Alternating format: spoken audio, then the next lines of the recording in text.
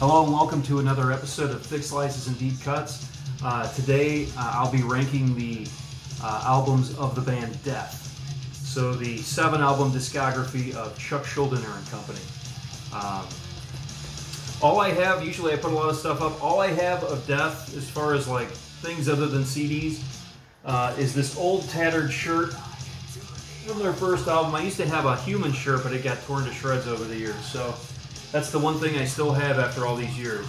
Um, but uh, just a brief history that probably most people watching will already know. But uh, band is basically Chuck Schuldiner and Company. Obviously, late Chuck Schuldiner, who uh, who left us way too early back in uh, 2001. Uh, but he did leave us with quite the uh, the legacy. So these seven albums, regardless of where I rank them, I like them all very much. So even though the one I'm going to rank here seventh, I go from seven to one. Even the one I rank seventh, I like, and I like them all a lot. So, uh, just incredible to see. Uh, you know, this is probably one of the most influential bands on me personally. You know, I think a lot of people say, "Oh, well, you know, Jimmy Page or somebody like that meant so much to me." Well, call me odd, but for me, you know, Chuck Schuldiner was one of the pivotal people for me to, you know, want to play, you know, you know, just get better, play more technical, more creative, all those things, progressive, I guess, all those types of things, while while playing in a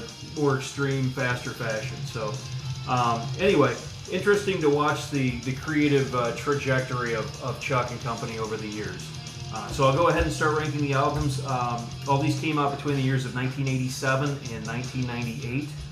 Um, so, all right, we'll get right into it. Uh, coming in at number seven, uh, an excellent album but uh, something had to come in last, and that would be 1998's The Sound of Perseverance, um, the final album of Chuck and uh, and Death. Excellent album, super technical. You know, if you like if you like Death, uh, very progressive and technical, you'll dig this. Um, first track might be the best one: Scavenger of Human Sorrow, Spirit Crusher, Flesh and the Power It Holds. Um, there's even a like a mellow instrumental with acoustic guitar. I don't think he's done anything like that up to this point. Um, I dig this album. I just I came on board with the band at a different time. I've talked to people that are like five or ten years younger than me, and they point to this as their favorite album, and I can understand that. It's well done. It's super technical. Um, you know, I just it doesn't connect with me on the level that the other six do. Not that it doesn't connect with me. It just doesn't you know, um, there was a three year gap between the previous album and this one, so it was almost like he had kind of moved on from death. Not sure exactly what happened, but maybe nuclear. This is on Nuclear Blast. I think maybe somebody kind of, you know, convinced him to do one more album. So, uh, and as with all Death albums, this is a different lineup. So he never had the same lineup twice. Never had the same lineup in back-to-back albums. This is a completely new lineup None of these guys were on any of the previous albums. And there were always notable players in his band. Uh, in this instance, the most notable would be Richard Christy on drums, simply because he was on the Howard Stern show for years, and um, I think he also played in um, Iced Earth for a short time after this, and also uh, Control Denied, which was Chuck's other band that he was working on right around this time, uh, which was, I don't know what you call it, progressive power metal or something like that. But uh, this album is good. You know, I, I think what Scott Clendenin is on bass. I'd never heard of him before or since uh, on this album. Uh, Shannon Hamm was the other guitar player. Again, never heard of those two guys. Knew about Richard Christy, but um, you know, excellent album. Just something had to come in at number seven, so this is by no means a bad album. It's just uh, also, I guess one thing that did get to me, his vocals or Chuck's vocals at this point are so high pitched. They're kind of it's my least favorite Chuck vocal performance. I guess we'll, we'll we'll say that as far as a critique. But otherwise, it's a good album, and they're. It sounds a bit like the, the album before it as far as style, but it's also got the technicality of the one, two albums before it. So it's good. Coming in at number seven, The Sound of Perseverance. Okay, uh, coming in at number six, a classic in the genre. Could be some old schoolers number one, but I had to put this together. Um, Number six is their debut, Scream Bloody Gore from 1987. Just a killer album. It's got 12 songs. Um, everything's based around like horror movies and Uh, this is just a landmark. This is like a blueprint for the death metal genre. You know, uh, it's really just a two-piece band at this point. It's Chuck and his ideas, and he's got Chris, who uh, Chris Reifert, who ended up being the drummer for Autopsy. So that's this lineup. It's basically a two-piece lineup, um, but that's a notable drummer that he has here. Um, you know, the songs are already legit. This isn't like some like you know, like the first Carcass album was really rough or something like that, or some bands have a really rough start. There's nothing rough about this first album. Um, you've got, you know, Infernal Death, Zombie Ritual, uh, Mutilation, Baptized in Blood, all these good songs. You know, Evil Dead, I'm sure, was taken straight from that horror movie. You know, Beyond the Unholy Grave. Just everything is based around that horror movie vibe. And already certain elements of the death sound that would carry on throughout are already in place here. Um, and you can already tell that even though it's crazy horror movie lyrics, you can tell that the drummer's good, and you can tell Chuck already knows what he's doing. Uh, so this is a just a monstrous album. You know, you could argue this is their heaviest album. Uh, again, I dig it. This just speaks to how strong the Death catalog is. That this blueprint landmark death metal classic from all the way back in 1987 is coming in at six out of seven. Uh, okay, coming in at number five, uh, the other death metal blueprint. In fact, he has Chuck and Death have many death metal blueprint albums, but uh, number five is their second album from 1988, uh, Leprosy. Uh, again, I dig this album. Uh, another lineup. This time, the lineup features three quarters of what would become Massacre, if you know that From Beyond album.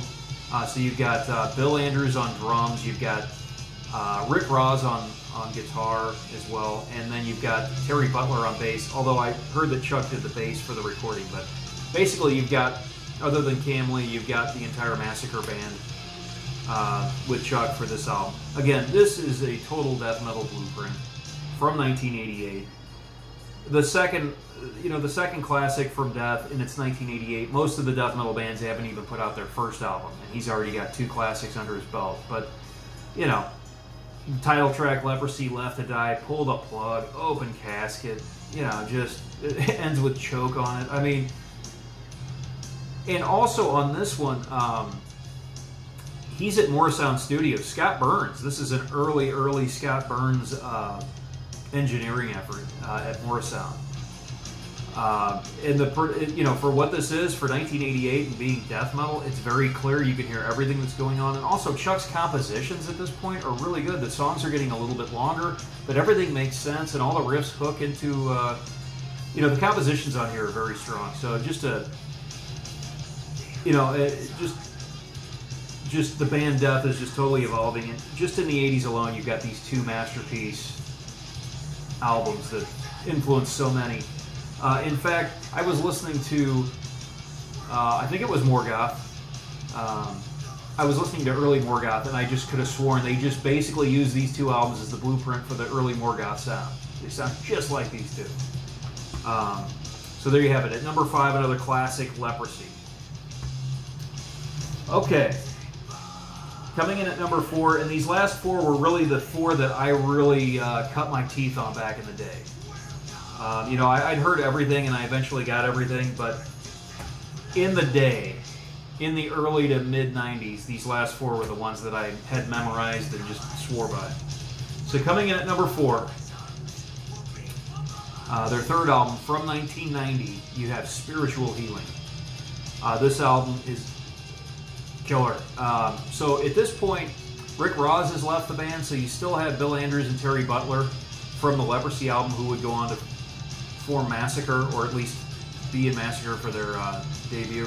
But this time you've got James Murphy, the legendary death metal shredder guitar hero. James Murphy is the second guitar player. Um, uh, again, Europe Morrisound with Scotty Burns. This album just evolves the band. This is what I would call their first progressive album. You know, these songs are getting more sophisticated. Uh, instead of the leprosy and scream bloody gore sort of horror uh, lyrics. You've got songs like Altering the Future, uh, Living Monstrosity, Defensive Personalities Within the Mind, Spiritual Healing, you know, Genetic Reconstruction. So you've got this new sort of more thought thought-provoking uh, lyrical uh, concepts. Uh, you know, spiritual healing. I think is about eight minutes long. So the compositions just keep getting better, more technical, more you know, more progressive. They're just the the skill set of Chuck is just you know evolving at a pretty quick rate uh, at this point. I also think, in my opinion, this is their most overlooked and underappreciated album. I think everybody thinks the first two are classics, and I think everybody thinks the stuff, you know, after this is just like, wow, so advanced and technical and, you know, high profile players all over the place. But, and I think this gets forgotten. This is really the bridge between, it's literally the bridge between the early classics and what they would become throughout the 90s. Uh, so I just think this is maybe their most overlooked classic, but I love it. Spiritual Healing coming in uh, at number four. Okay, coming in at number three, an absolute classic from 1993. This was their fifth album overall. Uh, I have individual thought patterns. Uh, so check out th- check out this high profile lineup. Uh, you've got Gene Hoglan on drums, going absolutely technically insane on this. You've got Steve DiGiorgio uh, back in the band with his fretless bass, and unlike the album before this, which he played on where he was buried, uh, a la And Justice for All, uh, they more than make up for it by cranking his fretless bass on this. So he's just playing this crazy, like rubber band sounding technical bass throughout, uh, while Chuck is just, you know, he's in his prime here as far as just being creative. So Chuck's doing all kinds of cool things. Tempo changes, which Gene got under control, and Steve's just all over the place. Uh, and on top of that, they have a guest uh, lead player on here, Andy LaRocque from King Diamond. So this, you can argue, this is the most high-profile lineup he had. Uh, songs like Overactive Imagination, Inhuman Form, Trapped in a Corner, uh, Destiny, Out of Touch, uh, The Philosopher, which they had an MTV video for believe it or not, this band had at least a couple of videos I saw in Headbangers Ball back in the day. So, this album, if you like your music just super teched out, uh, this might be that album for you. Uh, also, these every one of these I have is the reissue, so I think I bought all these at least twice. But it's got a cool uh, live concert from '93 where they're covering everything on the first five hour albums. It opens with "Leprosy," the song, "Suicide Machine," living monstrosity, overactive imagination, flattening of emotions within the mind inhuman form, lack of comprehension, trapped in a corner, and then finishes, finishes with zombie rituals. So that's pretty cool to have included on here. So number three, awesome album, 1993's Individual Thought Patterns. Okay, number two, from 1995, Symbolic. That's what we're listening to right now. Um,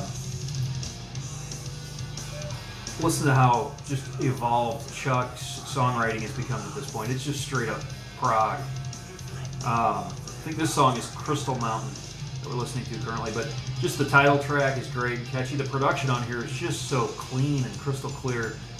Uh, symbolic, empty words, 1,000 eyes, without judgment, Crystal Mountain, misanthrope, perennial quest. Everything on here is great. Every song on here is excellent. Um,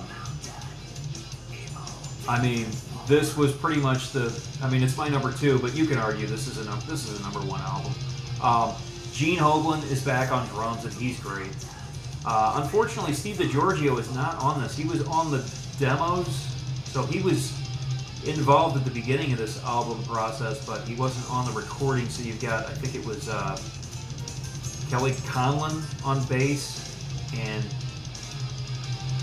Barry Koelble on the other guitar. Anyway, two guys I've never heard of before are on this. So yet another unique lineup to this one, uh, with Gene being the only carryover. But just a, an absolute gem of an album. I think this this was the only one on Roadrunner, and uh, it feels like you know, the only reason I ranked The Sound of Perseverance number seven was because it feels like everything Death had to say was pretty much said on their first six albums. I feel like this kind of summed up.